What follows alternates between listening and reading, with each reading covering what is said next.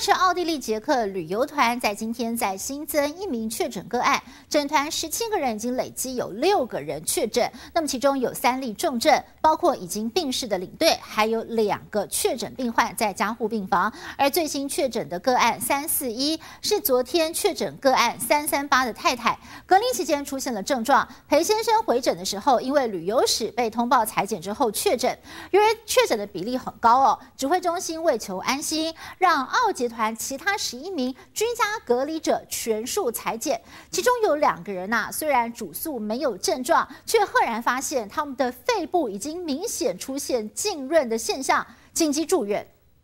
有一位哈是原来我们哈有的一个嗯哦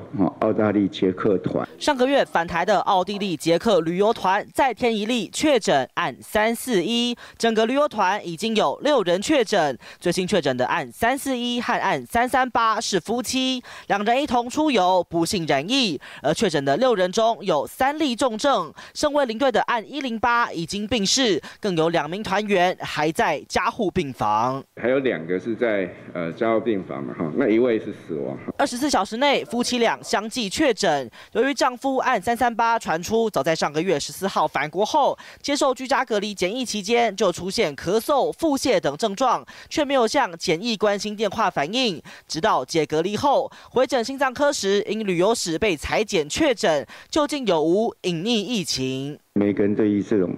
自觉的症状的描述。哈，事实上是有相当大的一个差异性。古早的安内阿金马安内啊，不感觉什么感慨，